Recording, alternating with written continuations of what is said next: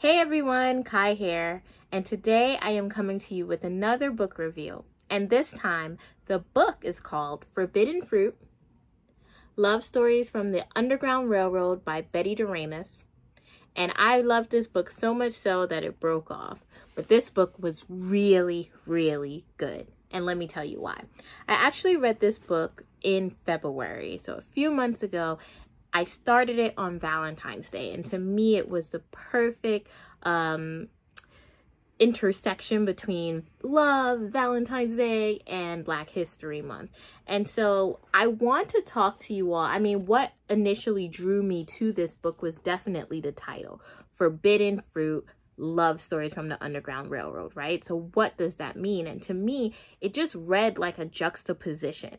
And so I'm going to talk to you about both parts of the title and that will kind of be the basis of my review. But I want to start with the love stories from the Underground Railroad and then we'll go on to what this really means, the forbidden fruit part. The book is broken up into 14 stories about couples and the book is an anthology. And so the stories detail you know the extent to which these couples escape to freedom on the underground railroad. Did they make it? Did they survive? What happens once they get to the north? Uh what happens once they escape? Like it's it's just like it keeps you on your toes. It's very scary um, it's just like such an intense, suspenseful book, but I loved every second of it, although some parts was very hard to read. When I think of slavery and I think of love and I think of I just think of the worst, right? Like I just immediately my mind goes to the broken families, uh, you know, mothers who love their children so much, but they're separated. Their children is sold off or they're sold off. I think of, you know, husbands who have to sit there in silence and watch their wives go through unthinkable things and vice versa. And, you know, it's not like the love isn't there, but the system of slavery was not built for on love. It was built on hate. It was an atrocity. It was you know, a nightmarish thing in our history.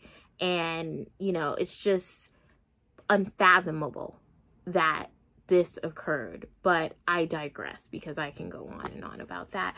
Uh, and so to me, the resilience of slaves it's just shown in the in this book and in the way in which they love you know? And when you think about it love was their only hope. To know and to learn about the bravery of individuals of slaves who actually took the risk and escaped with their loves or not. And i'm going to go through some of my favorite stories in the book but first i want to read you what the author describes forbidden fruit as. And she says it's a collection of love stories about slavery era couples, some enslaved, some free, most black, but a few interracial, who fought mobs, wolves, bloodhounds, bounty hunters, bullets, and social taboos to preserve their relationship. And that is the true essence of this book. The way that author Betty DeRamus describes what the book is about, that's what you're going to get. And so as I read, you know, some of my favorite stories were um, in the beginning, there was a story about Joseph Antoine. And that was the first book. And it was so compelling because Joseph was a free man and he sold himself back into slavery for love. And what I love about the author and how she introduces Joseph is she says, you know, if Joseph would have heard what love has become in this modern day where, you know, there's divorce and there's kids raising themselves and there's men who feel like they don't, they, you know, getting married is kind of cranking their style.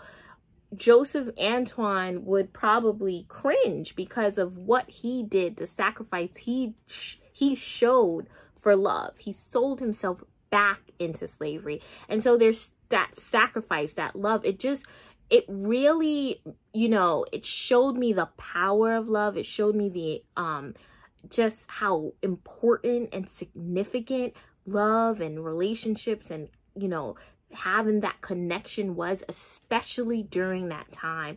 And so that's just only one story. And that was just the first story. But as we go on, we see a woman by the name of Lear Green um, who sold, who actually shipped herself to freedom. She put herself in a box and for 18 hours she couldn't pee, she couldn't do anything, she couldn't sneeze, she couldn't cough, she couldn't sniffle because her she would be her uh, cover would be blown.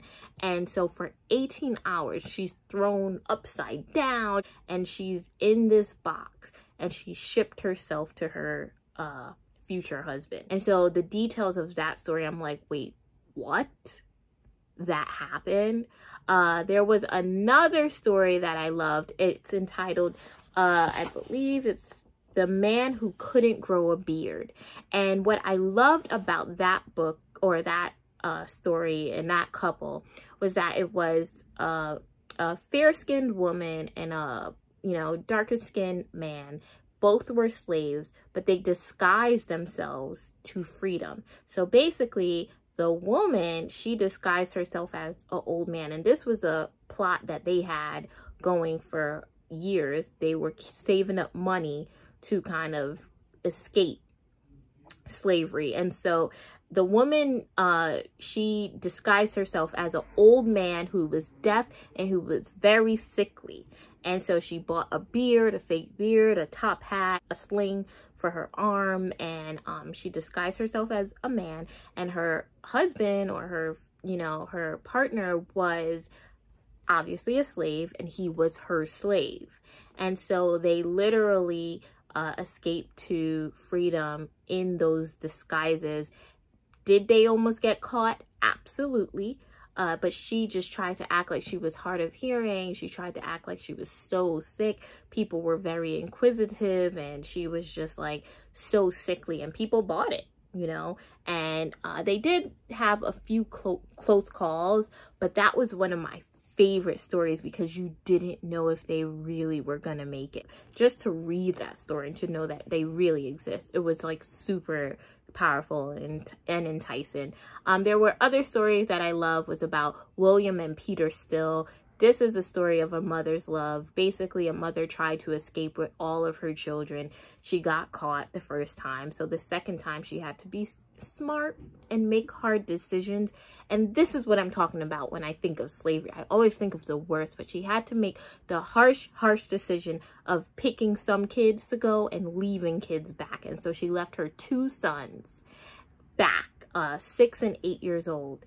And she had to take her daughters because we all know what happens to young girls in slavery. So she took her daughters, she left her two sons, she had other younger kids, and she took them too. And she never did come back for the sons. I don't think historically, even if she did, they were sold off further down south. And so one of the son, he pretty much died of a broken heart, but the other son, he found his way to freedom and literally into the office of his brother, his own brother, the younger brother. They had no idea, but their stories were so similar.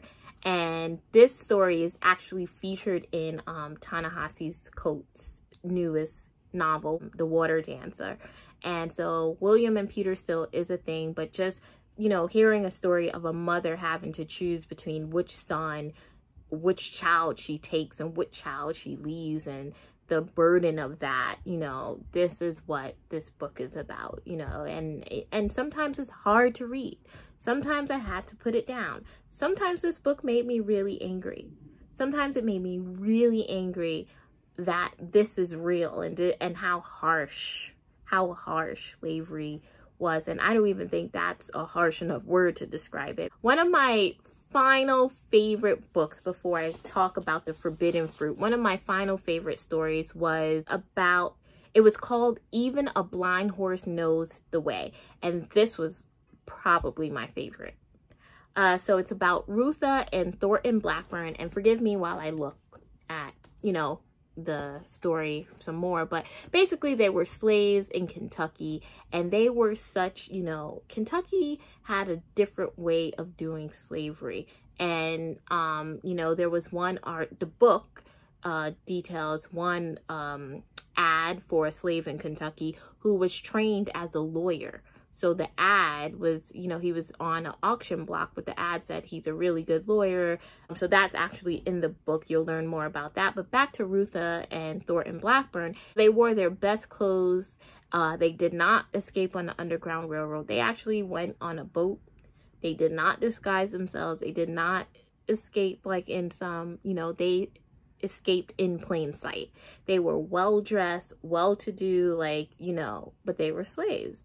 And um so they escape to Boston. They have like this whole community of people that they've met in Boston and they're really influential in that community. And what ends up happening is that their slave catchers try to catch them and take them back and the whole community rallies around these people so much so that they cause a riot to make sure that these um you know Reuther and Thornton escapes further to freedom I believe they escaped to Canada and they created a whole riot they like killed the slave catchers like they really like went crazy. And that to me is what you call solidarity, community, unity.